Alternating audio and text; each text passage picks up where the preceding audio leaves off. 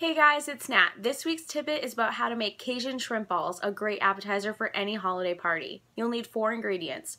One pound of shrimp, Cajun seasoning, one egg, and a half a cup of breadcrumbs. What you want to do first is peel and devein the shrimp, throw it in the food processor and pulse it about four or five times, add in the other ingredients, and then pulse again two or three times until everything's fully mixed. Then when it's done, you want to make them into small balls and cook them on the stove top for about one minute. This is great for any occasion. As always, my videos are sponsored by Healthy Solutions Spice Blends. Thanks for watching.